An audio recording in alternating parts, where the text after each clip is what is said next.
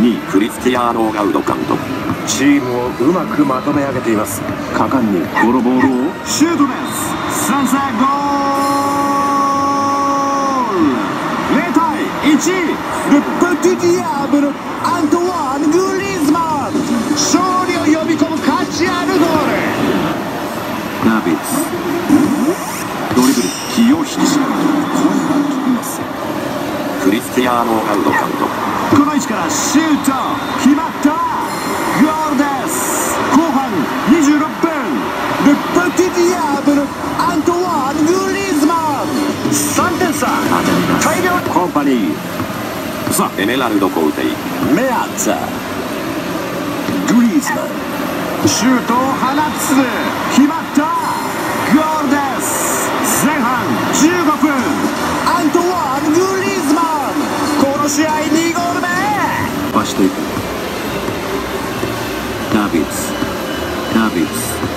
ダビスアント決めたゴールイン。0対3ルプティディアブルアントワーン・グリーズマン。ついにハットトリック達成です。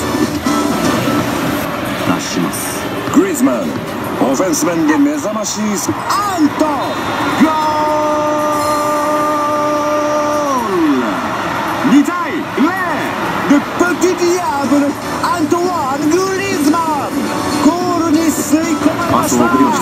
抑えてさあフィールド中央。ここでスルーパス。アント。得意の左足。ゴールイン。0対1アントワーン・グリーズマン。やはり動きが違います。監督もガッツポーズ。マスチェラード。右に送った。トラップ。左に開いてシュートさあ勝負だ。左足でシュート。ゴール。後半45分。0対3さあ何点差まで広げてくれるでしょうか？取り戻しました。ダビスルイス・グスタボ。抑えて。グリーズマン突破していく。シュートを放つ。ゴール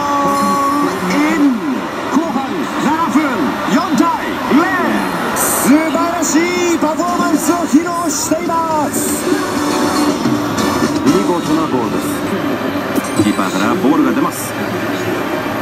グリーズマン大きく成長したオフェンスでチームの攻撃力を高めています。シュート